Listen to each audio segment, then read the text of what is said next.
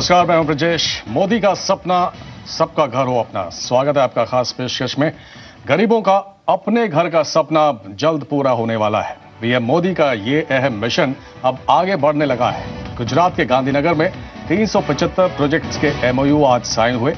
जिनका फोकस रहेगा सबको सस्ता घर मुहैया करवाना। लेकिन बड़ा सवाल है कि ये कितनी बड़ी चुनौती होगी, कितना आसान या कितना मुश्किल होगा? इस सपने को साकार करना। इसी पर हम बात करेंगे। इसमें हमारे साथ कुछ खास मेहमान भी होंगे। लेकिन उससे पहले देखिए report.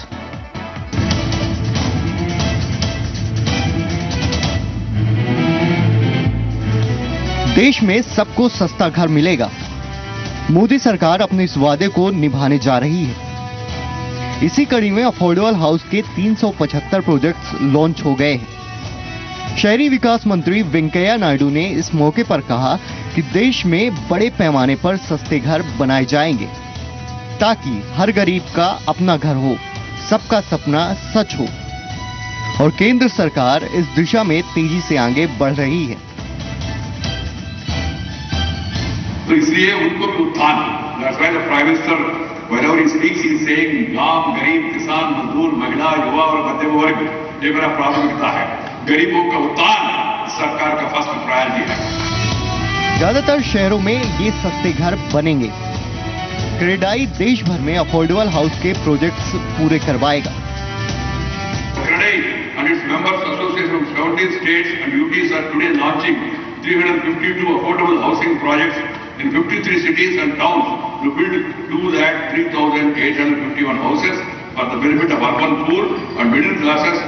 at an estimated cost of nearly 38,003 crores. हर जरूरतमंद को साल 2022 तक घर देने की बात सुनने में अच्छी लगती है। लेकिन जब तक प्राइवेट बिल्डर सस्ते घर नहीं बनाएँगे तब तक मोदी सरकार का ये मिशन पूरा नहीं होगा। बिल्डर्स ने भी आगे कदम बढ़ाया है और भरोसा दिया है कि इस मिशन में वो सरकार के साथ हैं। सस्ते घर देने के प्रोजेक्ट में अब बिल्डर भी आ चुके हैं। इससे न केवल जिनके पास घर नहीं है, ऐसे गरीबों को घर मिलने की आस बड़ी है, लेकिन अभी जो रियल एस्टेट सेक्टर मंदी से गुजर रहा है, उसको बुस्टअप देने के लिए भी इस तरह के प्रोजेक्ट काफ़ी मददगार साबित होंगे। कैमरामैन योगेश ठक्कर के साथ केतन जोशी जी मीडिया गांधीनगर। प्रधानमंत्री बनने के बाद ही नरेंद्र मोदी ने इस बात पर चिंता जताई थी कि 60 साल के ऊपर बीत चुके हैं आज़ादी के, लेकिन अभी भी सबको छत मुहैया नहीं हुई है हमारे देश में। और इसलिए बहुत ज़रूरी है कि एक बड़ा तबका जो अफोर्ड नहीं कर सकता है घर को, वो उसके लिए सरकार पहल करे, उसके लिए अफोर्डेबल हाउसेस बनाए। और इसके लिए निजी क्षेत्र का सहयोग बहुत ज़रूरी है।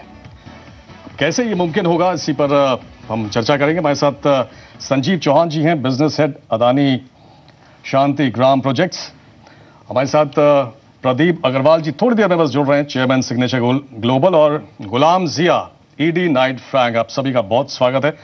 और केतन जोशी, जिन्होंने सुबह से ही आज इस खास समारोह पर नज़र रखी हुई थी अहमदाबाद में, जहाँ वेंकैया नायडू साहब ने आज 375 प्रोजेक्ट्स लॉन्च किए हैं।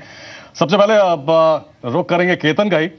केतन आज जो समारोह था, उस पर पूरे देश की नज़र थी, और खासकर उन लोगों की तो खास तौर पर थी जिनके पास रहने के लिए अपना घर नहीं है उस सपने को पूरा करना चाहते हैं। आज 375 प्रोजेक्ट्स लॉन्च हुए हैं। इसके अलावा और क्या खास ऐलान हुए हैं आ, हमारे कस्टमर्स के लिए या उन नागरिकों के लिए जो घर चाहते हैं? देखिए ब्रजेश एक बहुत बड़ी समस्या थी देश में कि सबको घर नहीं मिले नहीं मिलेगा और सपनों का घर बिल्कुल नहीं मिलेगा। ऐसी एक निराशा लोगों में थी लेकिन जब नरेंद्र मोदी प्रधानमंत्री के तौर पर आए तो उन्होंने एक मिशन शुरू किया कि सबको एक घर मिले और एक डेडलाइन भी तय की 2022 तक। लेकिन ये तब तक मुमकिन नहीं होगा प्रधानमंत्री का सपना, जब तक कि प्राइवेट प्लेयर इसमें नहीं जुड़ेंगे। लेकिन आज क्रेडाई ने अपने पैन इंडिया, जितने भी मेंबर्स है जो कि बिल्डर है, उन्होंने ही खुद अफोर्डेबल सेगमेंट में आने का एक वादा किया और आज एक साथ 375 प्रोजेक्ट है वो लॉन्च किए और ये अफोर्डेबल कैटेगरी के हैं, जो केंद्र सरकार की गाइडलाइन है उसको फॉलो करते हुए ये प्रोजेक्ट है। यहाँ से नहीं रुकेंगे। दो लाख सैंतीस हज़ार घर बनेंगे, कुल 375 प्रोजेक्ट में। लेकिन जक्सई शाह जो कि आज ही क्रेडाई के नेशनल प्रेसिडेंट बने हैं, उन्होंने ये खास कहा कि आने वाले दो साल में हम देश में 25 लाख सस्ते घर बनाएँगे। मतलब कि साफ़ है कि अब तक जो निजी बिल्डर है अफोर्डेबल सेगमेंट में नहीं आ रहे थे। सिर्फ़ सरकार ही इस पर बात कर रही थी, या तो कुछ कार्रवाई कर रही थी। लेकिन अब बिल्डर भी इस पर कूद पड़े हैं और प्रधानमंत्री का सपना है वो अपना सपना समझकर आगे आए हैं। तो कहीं ना कहीं अब एक विश्वास होने लगा है कि हर व्यक्ति हर परिवार जिनके पास घर नहीं है उनको घर शायद मिलेगा और वो भी 2022 के आसपास। तो बहुत बड़ा कदम था। आज क्रेडाई ने पूरे जोशो आवास में ये कहा वेंकैया नायडू की मौजूदगी में कि घर देने में हम मदद करेंगे, सरकार की मदद लेकर। तो एक बहुत बड़ा अहम दिन था आज सबके लिए। जी बिल्कुल बहुत ही अहम दिन था और इस लिहाज से भी बहुत महत्वपूर्ण हो जाता है कि दो करोड़ घर की कमी बताई जाती है हमारे देश में और इसमें एक बहुत बड़ा तबका ऐसा है जो अफोर्ड नहीं कर पाता है। अब संजीव चौहान जी, आपसे जानना चाहेंगे, ये सवाल इसलिए अहम हो जाता है क्योंकि दो महीने पहले की बात है। वेंकैया नायडू साहब ने चिंता जताई थी कि अफोर्डेबल हाउस प्रोजेक्ट्स के लिए उनके पास एक भी आवेदन नहीं आया है। ये बड़ी निराशा की बात है और ये इसलिए भी अहम है क्योंकि इतना बड़ा प्रोजेक्ट बिना प्राइवेट भागीदारी के पूरा नहीं हो सकता है। अब क्या ये माना जाए, जिस तरह से क्रेडाई ने आगे हाथ बढ़ाया है तो ये सपने को साकार करना मुमकिन होगा? ब्रिजेश जी मैं आपको बताना चाहूँगा कि अदानी समूह में अडानी रियलिटी एक इमर्जिंग आर्म है, जिसने पिछले छः सालों में करीबन छः मिलियन स्क्वायर फीट बना के डिलीवर किया है और करीबन दो मिलियन स्क्वायर फुट अगले एक से सवा साल में हम लोग डिलीवर करेंगे। और हमने शुरुआत से ये ध्यान रखा है कि जो हम घर दें, वो अफोर्डेबल हो क्वालिटी हो और इंफ्रास्ट्रक्चर के साथ मुहैया करा सके। आज अहमदाबाद में हमारा 600 एकड़ में फैला हुआ अडानी शांतिग्राम करके टाउनशिप का प्रोजेक्ट है, जिसमें हमने स्पेसिफिकली अफोर्डेबिलिटी का ध्यान में रखते हुए वन और टू बीएचके पर हमने खास ध्यान रखा।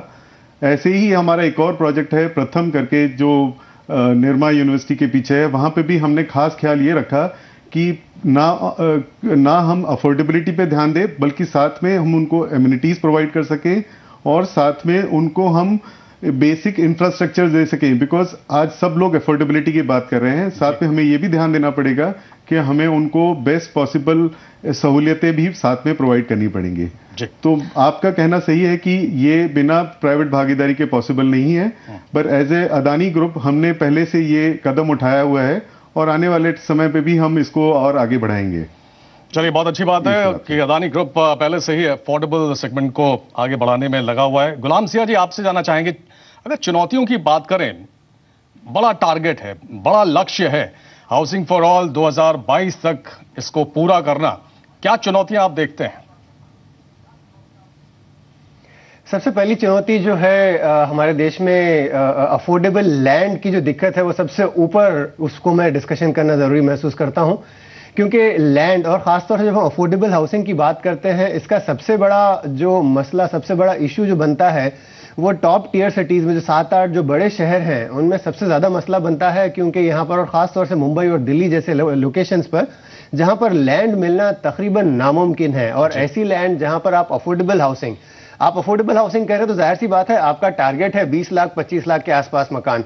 ये अगर आप एनसीआर और मुंबई की तरफ़ ही अगर नज़र उठाकर देख ले आपको कहीं भी इस तरह की ज़मीन मुहैया कराना अपने आप में सबसे बड़ा चैलेंज है। उसके बाद दूसरी चीज़ है जो अफोर्डेबल हाउसिंग हम जिनके लिए तैयार कर रहे हैं जिस पॉपुलेशन जिन लोगों के लिए बना रहे हैं उनके लिए अफोर्डेबल लोन मुहैया करना उनके लिए फंडिंग के रास्ते खोलना ये भी अपने आप में बहुत महत्वपूर्ण चीज़ है। और ये दोनों फिल वक्त सबसे बड़े चैलेंज के तौर पर मैं समझता हूँ हमारे सामने आ रहे हैं। जी। और आपने लैंड की बात की है जिया साहब सरकार ने भी पहल की है और तमाम स्टेट गवर्नमेंट से उन्होंने कहा है कि लैंड बैंक बनाना चाहिए और जहाँ पर ऐसी ज़मीन पड़ी हुई है, जिनका बहुत ज़्यादा इस्तेमाल नहीं है, उसको इस बैंक के तहत लाना चाहिए। लेकिन प्रदीप जी, आपसे जानना चाहेंगे अफोर्डेबल सेगमेंट में क्या जो प्राइवेट डेवलपर्स हैं या जो बिल्डर्स हैं, वो बहुत ज़्यादा इंटरेस्टेड इसलिए नहीं रहते थे कि उनका मार्जिन बहुत कम रहता था? क्या ये एक बड़ी वजह रही है? प्रदीप जी? देखिए सबसे पहले तो एक बात समझने की ज़रूरत है। हर परिवार को एक घर मुहैया कम से कम होना चाहिए ये सबसे पहली डिमांड है। मोदी जी का सपना भी यही है। समझने की ज़रूरत है कि आज इन चीज़ों को बनाने में दिक्कत कहाँ आ रही है। दिक्कत सबसे पहले ये है कि हम अफोर्डेबल हाउसिंग और नॉर्मल हाउसिंग में कोई फ़र्क नहीं कर पा रहे हैं। फ़र्क इन द सेंस कि अगर हम लैंड की बात करें तो कोई लैंड पार्सल ऐसे मुहैया नहीं है जो आपको नॉर्मल ग्रुप हाउसिंग और इनसे कुछ डिफरेंट हो। दूसरी बात, जो इनिशिएटिव गवर्नमेंट ने लिए हैं, मुझे लगता है ये ऐसे इनिशिएटिव हैं कि इस वक्त इन इनिशिएटिव को लेना बहुत ज़रूरी था। अगर हम दो करोड़ घर 2022 तक लोगों को देना चाहते हैं तो ज़रूर कुछ ऐसी योजना बनानी पड़ेगी। जैसी प्रधानमंत्री जी ने पिछले दो दिन में कहा है स्टेट्स को कि लैंड्स ऐसी लैंड्स जस्ट आइडेंटिफाई करें कि जिनके अंदर अफोर्डेबल हाउसिंग को बनाया जा सके। दूसरा जो क्वालिटी ऑफ़ कंस्ट्रक्शन है उसके ऊपर ध्यान देने की ज़्यादा ज़रूरत है। कहीं ऐसा ना हो कि अफोर्डेबल हाउसिंग की इस दौड़ में उस क्वालिटी ऑफ़ कंस्ट्रक्शन में कहीं कोई कॉम्प्रोमाइज हो जाए।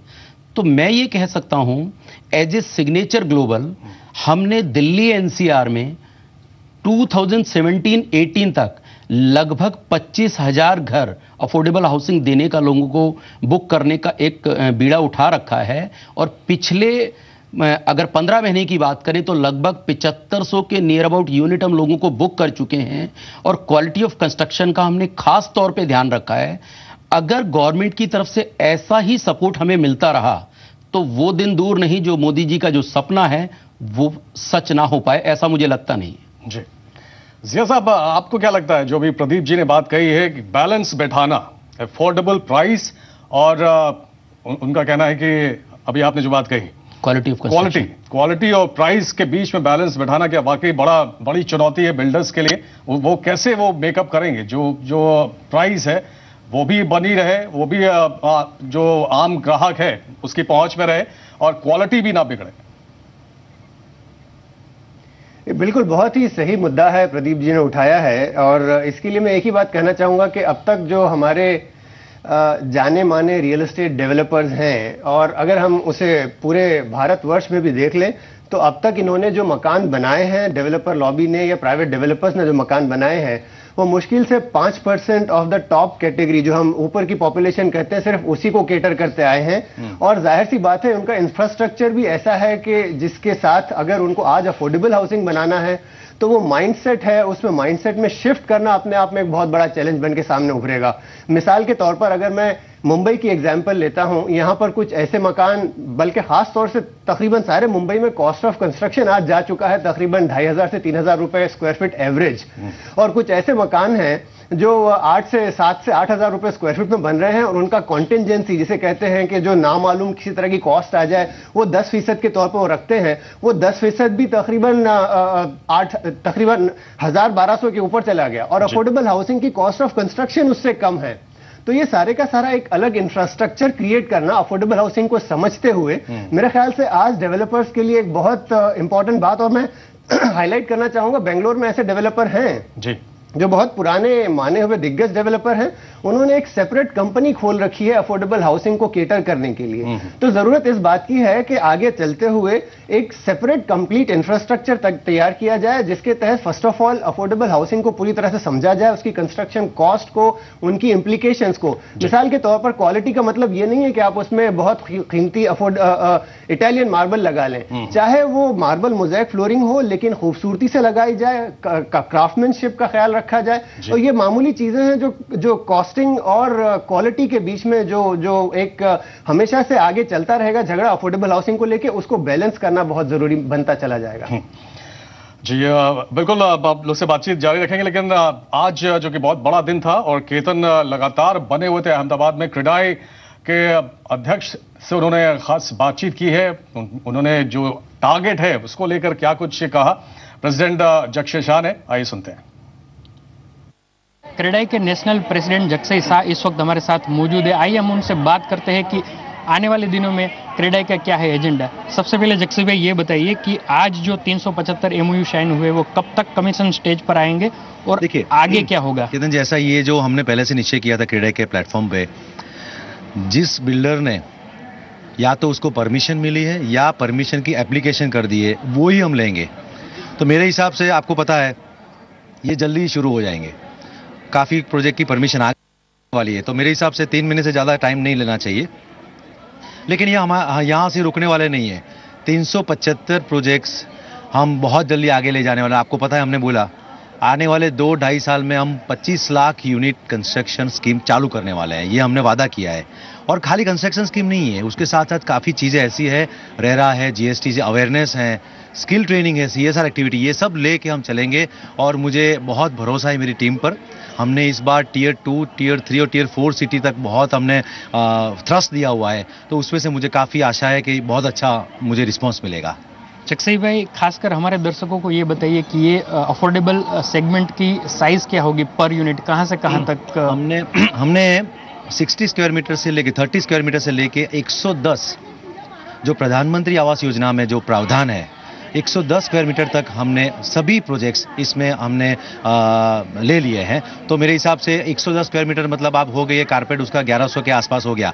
मेरे हिसाब से 95 percent of the total projects in India will cover जी क्रेडाई बहुत उत्साहित है। और केतन इस, इसको देख के ऐसा लगता है कि जो सपना है प्रधानमंत्री का वो ज़रूर पूरा होगा। प्रदीप जी स्टूडियो में है वो भी ऐसे ही उम्मीद जता रहे हैं। लेकिन इसके अलावा क्या किसी तरह की चिंता वहाँ पर जताई गई है प्राइवेट डेवलपर्स की तरफ़ से? देखिए खासकर प्राइवेट डेवलपर ने आज यही मुद्दा उठाया कि हमें हमारे पास लैंड बैंक है, उस पर हम काम चला लेंगे। शहर से दूर जाएँगे, जो सबब एरिया होता है, वहाँ पर जाएँगे। लेकिन सरकार की ओर से जो क्लियरेंस मिलना चाहिए, उसमें थोड़ी तेज़ी आए, ये भी ज़रूरी है। तो वेंकैया नायडू ने आज अपनी स्पीच में ये भी कहा कि जो आने वाले समय में रेरा आएगा, जो एक रेगुलेशन आएगा इसके ऊपर तो उनसे आप घबराइए मई लेकिन ये एक प्रावधान है, ताकि जो गलत लोग इस फ़ील्ड में आ गए हैं, उसको अलग करना है और जो सही बिल्डर है, उसको मोटिवेट करना है। तो आज सरकार और बिल्डर दोनों के बीच में एक अच्छा तालमेल देखने को मिला। बिल्डर के अपने कुछ मुद्दे थे, उसको भी सरकार ने कहीं ना कहीं एड्रेस करने की कोशिश की और इस बात पर आने की एक कोशिश की कि 2022 तक कैसे घर मिले। तो एक बहुत बड़ा पहला कदम है कि आज एक ग्राउंड पर भी काम होता हुआ दिखा और खुद जगसई शाह ने कहा, जो कि नए प्रेसिडेंट बने हैं, कि ये 375 प्रोजेक्ट ऐसे हैं, जो कहीं ना कहीं कोई ना कोई स्टेज पर काम कर रहे हैं, सिर्फ़ कागज़ी कार्रवाई नहीं है। तो आने वाले समय में अफोर्डेबल सेगमेंट में एक बहुत ज़बरदस्त काम होने वाला है। ये एक भरोसा दिखा। बिल्डर की थोड़ी कंसर्न थी, लेकिन सरकार भी उत्साहित है कि हम उसको दूर करेंगे। बस आप आगे बढ़िए। जी तो सरकार की तरफ़ से पूरा सहयोग है। और खास बात यह भी है कि पीएमओ पूरी तरह से नज़र रखा हुआ है इस पर, और कल एक बहुत अहम बैठक भी हुई थी जिसमें क्रेडाई के प्रतिनिधि भी पहुँचे थे। उनसे यही जानने की कोशिश हुई है कि आपकी समस्या क्या है? आप लोग आगे क्यों नहीं आ रहे हैं? संजीव जी, आपसे आपसे जानना चाहेंगे, जिन जिन चुनौतियों का ज़िक्र अभी किया केतन ने, आपको लगता है कि इसको तो केटर करना ही चाहिए? इसके अलावा कुछ और कदम जो सरकार को उठाने चाहिए, आपकी नज़र में वो क्या होने चाहिए? मेरा मानना है कि ये प्रधानमंत्री आवास योजना एक बहुत बड़ा बूस्टर बन के निकलेगा बिकॉज़ सबसे इम्पोर्टेंट ये है कि आ- आसान कर्ज दरों में लोन मुहैया हो रहे हैं, ऊपर से सब्सिडी है। और आज की तारीख में एक एंड यूज़र है जिसको घर चाहिए अफोर्डेबल प्राइस पे। और जैसा प्रदीप जी ने बोला कि क्वालिटी और इंफ्रास्ट्रक्चर भी एक ऐसी चीज़ें हैं जो साथ में अफोर्डेबिलिटी के साथ ध्यान रखनी पड़ेंगी। और वो शायद हम आने वाले समय में एक बहुत बड़ा चैलेंज मानते हैं। इसलिए वो जो भी अप्रूवल्स हैं सरकार की तरफ़ से, वो रेगुलराइज करा करके जल्दी से जल्दी मुहैया कराए जाए, ताकि ये घर ज़्यादा दूर भी ना हो और अफोर्डेबल तरीके से एक अच्छी क्वालिटी के साथ हम डिलीवर करा सकें। जी, और इसमें एसबीआई भी आगे आया है और उसने बहुत सारे ऑफर्स दिए हैं। एसबीआई के MD corporate banking group B Sriram से बात की। हमारे संवाददाता केतन जोशी ने, उन्होंने क्या कहा? आइए सुनते हैं। आज क्रेडाई ने प्रधानमंत्री का जो सपना है 2022 तक उन परिवार को घर देना, जो गरीब है, जिनके पास घर नहीं है तो ऐसे 375 प्रोजेक्ट अक्रॉस इंडिया के लिए आज यहाँ पर लॉन्च हुए और एसबीआई ने विशेष तौर पर उनको सहूलियत दी है, खासकर कुछ बेसिस पॉइंट को उनको फ़ायदा भी दिया है। इस वक्त एसबीआई के डीजीएम हमारे साथ है, आइए हम उनसे बात करते हैं। सर, बताइए, आपने आज इस प्रोजेक्ट जो लॉन्च हुआ, उसमें किस तरह से मदद रूप होंगे? नहीं, देखिए एसबीआई जो है वो अफोर्डेबल हाउसिंग को प्रमोट करने के लिए काफ़ी जो है वो कदम उठा रही है। आज जो यहाँ जो क्रेडाई का जो नेशनल इवेंट है एसबीआई एक्चुअली क्रेडाई का एक नेशनल पार्टनर है। और यहाँ पर आज 375 जो है वो अफोर्डेबल हाउसिंग लॉन्च का जो आज प्रोग्राम हुआ। तो बैंक ने एक नॉर्मली इसी पार्टनरशिप को आगे लेते हुए और अफोर्डेबल हाउसिंग को एक बढ़ावा देने के लिए हाउसिंग फॉर ऑल मिशन के तहत जितने भी जो बिल्डर्स हैं, जो अपने अफोर्डेबल हाउसिंग प्रोजेक्ट्स लॉन्च करेंगे नॉर्मली हमारे यहाँ एक जो है वो बिल्डर फाइनेंस की जो एक स्कीम रहती है। तो बैंक ने ये फैसला किया है कि जो अफोर्डेबल हाउसिंग में जो प्रोजेक्ट्स में जो बैंक फाइनेंस करती है उसमें हमारा जो rate of interest concession can go up to 35 basis points तो नॉर्मल जो रेट ऑफ़ इंटरेस्ट रहता है उसमें हम अगर अफोर्डेबल हाउसिंग का अगर प्रोजेक्ट है तो bank will be going for a rate of interest concession of up to 35 basis points और सर ग्रीन हाउस कोई अफोर्डेबल प्रोजेक्ट करता है तो उनके लिए भी आपने कुछ छूट का अनाउंसमेंट किया है? ग्रीन हाउस में क्या है ऑलरेडी हमारे बैंक में एक एक्चुअली जो ग्रीन हाउस को प्रमोट करने के लिए एक स्कीम है और इवन जो हमारे जो कस्टमर अगर ग्रीन हाउस में होम लोन वगैरह लेते हैं तो उसमें हमारा प्रोसेसिंग फ़ी का जो है वो वेवर रहता है। इसके अलावा जो बिल्डर्स जो ग्रीन हाउस में जो प्रोजेक्ट डेवलप करते हैं तो बैंक का ऑलरेडी एक इनबिल्ड स्कीम है कि 10 बेसिस पॉइंट जो है वो उसमें उनको रेट ऑफ़ इंटरेस्ट में कंसेशन प्रदीप जी, आपसे जानना चाहेंगे। एसबीआई ने जो पहल की है, जो ऑफ़र दिया है, वो आपको लगता है कि बहुत अच्छा ऑफ़र है। ना केवल होम बायर्स के लिए होम लोन पर छूट की बात हो रही है, बल्कि कंस्ट्रक्शन लोन पर भी छूट की बात की जा रही है एसबीआई की तरफ़ से। नहीं बहुत अच्छा कदम है। इसमें कोई शक ही नहीं है कि हर जितने भी डिपार्टमेंट आप ये देखिए एक कितनी अच्छी बात है अगर हम पूरे के पूरे सेगमेंट की बात करें चाहे गवर्नमेंट हो चाहे बैंक्स हो चाहे बिल्डर्स हो इस वक्त अगर पिछले तीन साल की हम बात करें तो पूरा का पूरा सिनेरियो एंटायर चेंज हो गया है। कभी आपने ऐसे अफोर्डेबल हाउसिंग या किसी भी हाउसिंग सेगमेंट को इस टाइप से डिस्कशन होते नहीं सुना होगा। तो जो एक मंदी का दौर रियल स्टेट में चल रहा था उस मंदी के दौर से निकलने का ये सबसे अच्छा वक्त है। मुझे लगता है जितने रियल एस्टेट मेरे डेवलपर भाई हैं, उनको ये समझना पड़ेगा कि अगर कुछ ट्रबल्स पीछे आई हैं तो अफोर्डेबल हाउसिंग एक ऐसा सेगमेंट है, अगर वो इसमें काम शुरू करते हैं तो कहीं ना कहीं पूरा का पूरा एंटायर सीनेरियो चेंज हो सकता है और गवर्नमेंट जितना इस वक्त इन चीज़ों के ऊपर फोकसली लगी हुई है, शायद इससे पहले कभी किसी गवर्नमेंट ने इस फोकस के साथ काम नहीं किया है। दूसरी बात, अगर जो गवर्नमेंट है कहीं इसमें वन विंडो क्लियरेंस जैसा एक कोई सिस्टम बनाए और दूसरा जो रॉ मटेरियल सप्लाई है उसमें कोई डिफ्रेंशिएट करे कि अगर कोई सीमेंट या स्टील या वट एवर जो भी चीज़ें हैं कोई टैक्स हैं अगर वहाँ पे कुछ और छूट अगर मिलती हैं तो वो और स्वागत का कदम होगा। मुझे लगता है गवर्नमेंट कहीं ना कहीं इन चीज़ों पे सोच रही है और आपके माध्यम से अगर वो मेरी बात सुन रहे हैं तो कुछ ना कुछ ऐसे स्टेप ज़रूर उठाएँ कि जो नॉर्मल ग्रुप हाउसिंग है और अफोर्डेबल हाउसिंग है वो बिल्कुल एंटायर डिफरेंट नज़र आए ना कि उनके लिए भी सीमेंट वही रेट है या स्टील वही रेट है जी जी। ऐसा नहीं होना चाहिए बिल्कुल और सरकार कितनी गंभीर है इस विषय को लेकर उसी से पता लगता है कि इंफ्रास्ट्रक्चर का दर्जा भी दे दिया है अफोर्डेबल हाउसिंग को गुलाम जिया जी आपसे जानना चाहेंगे एक बड़ी चिंता जो है रियल एस्टेट काफ़ी दबाव में हम सभी जानते हैं और प्रदीप जी जैसा कि कह रहे थे कि अगर अफोर्डेबल सेगमेंट में आप जाते हैं बिल्डर्स तो उनके लिए आगे चलकर फ़ायदा होगा। लेकिन एक बड़ी समस्या या बड़ी चिंता कहें तो वो इन्वेंट्री है। बड़ी, बड़े पैमाने पे इन्वेंट्री मुंबई में, दिल्ली, एनसीआर में, बेंगलुरु में नज़र आती है।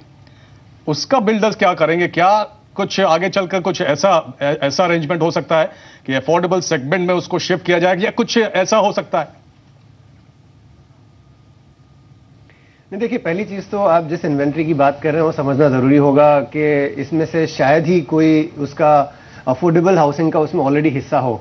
आपने ये पूछा कि क्या उसे शिफ्ट किया जा सकता है? मेरे लिए तो तकरीबन नामुमकिन नज़र आ रहा है क्योंकि जो चीज़ तैयार है वो एक कॉस्ट उसमें लग चुकी है चाहे वो कॉस्ट ऑफ़ लैंड हो कॉस्ट ऑफ़ कंस्ट्रक्शन हो कॉस्ट ऑफ़ फंडिंग हो मार्केटिंग हो जो भी हो वो उसमें लग चुकी है वो मकान तैयार खड़ा है। आगे चल के उसका कॉस्ट सिर्फ़ बढ़ता चला जाएगा क्योंकि आपकी इंटरेस्ट कॉस्ट भी उसमें लगती ऐड होती चली जाएगी। तो मुझे नहीं लगता जो एग्जिस्टिंग इन्वेंट्री है उसको फिजिकली या किसी तौर पर आप उसे अफोर्डेबल हाउसिंग में शिफ्ट कर कर पाए ये मेरे नामुमकिन दिखाई दे रहा है। और दूसरी चीज़ जो आप मंदी की बात कर रहे हैं एक और चीज़ जब हम ये साढ़े तीन सौ चार सौ प्रोजेक्ट के लॉन्च की बात कर रहे हैं ये सारी चीज़ें सुनने में बहुत ही भली दिखाई महसूस होती हों। लेकिन एक चीज़ जो हम कंज्यूमर को इग्नोर कर रहे हैं एक और चीज़ पिछले चंद मिनटों में हमने बात कर ली बिल्डर की बात कर ली रेगुलेशन की बात कर ली बैंकों की बात कर ली एक चीज़ जिसकी बात हम अब भी नहीं कर रहे हैं वो है कंज्यूमर अगर आप जब तक के इन सारे प्रोजेक्ट को कंज्यूमर की नज़र से ना देखें आगे चल के एक बहुत बड़ी समस्या के बायस बन सकते हैं। इसका मतलब मैं कहना यह चाहूँगा कि अगर आपने आज ये साढ़े तीन सौ प्रोजेक्ट शुरू कर दिए, कहीं ना कहीं आपको इसमें कंज्यूमर की तरफ़ से फंडिंग भी आनी ज़रूरी है। और जैसा आप जानते हैं पिछले साल दो साल तीन साल में कंज्यूमर ने रियल एस्टेट की तरफ़ से जो मुँह मोड़ रखा है अगर आगे चलते भी यही माहौल बना रहा तो अगले साल दो साल में ये जो सारे नए प्रोजेक्ट अफोर्डेबल हाउसिंग में लॉन्च हो रहे हैं अगर उनको कंज्यूमर का पार्टिसिपेशन ना मिले अगर उसमें कंज्यूमर में एक्साइटमेंट जज्बा नहा नहीं जाग पाए कि उन्हें आगे बढ़ के मकान खरीदने हैं तो एक समय आएगा जब फंडिंग के ना होने के कारण ये प्रोजेक्ट शायद किसी न किसी मकाम पे जाके बहुत बड़ा चैलेंज फेस करेंगे शायद रुक भी जाए। तो उसे भी अपने आप में देखना ज़रूरी होगा कि कंज्यूमर को मकान चाहिए कहाँ पर। महज इसलिए कि मेरे पास कोई 600 एकड़ की प्रॉपर्टी कहीं रखी है उस पर मैं अफोर्डेबल हाउसिंग बना दूँ और एक्सपेक्ट करूँ कि सारे शहर के लोग यहाँ अफोर्डेबल हाउसिंग खरीदें ये सोचना शायद सही नहीं होगा। हमें देखना ये होगा कंज्यूमर को मकान की ज़रूरत कहाँ है। अगर आपके जो जॉब्स जहाँ हैं इंफ्रास्ट्रक्चर कनेक्टिविटी ट्रांसपोर्टेशन कहाँ है उन सारी चीज़ों को सामने रख के उस लैंड का सिलेक्शन किया जाए और उसमें मकान बनाया जाए, जब तक कि ये अप्रोच ये रुख ना देखा जाए, तब तक ये सारे प्रोजेक्ट शायद कहीं ना कहीं जाके किसी ना किसी दिक्कत का सामना ज़रूर करेंगे। बहुत बहुत ही सही बात कही है गुलाम जिया जी आपने और वाकई कंज्यूमर एंगल से भी सोचने की ज़रूरत है।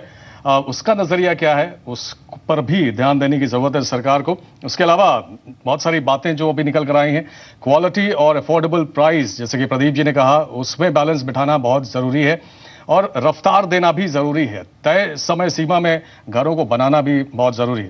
फ़िलहाल आप सभी का बहुत शुक्रिया, बहुत धन्यवाद इस चर्चा में हमारे साथ जुड़ने के लिए। बहुत धन्यवाद।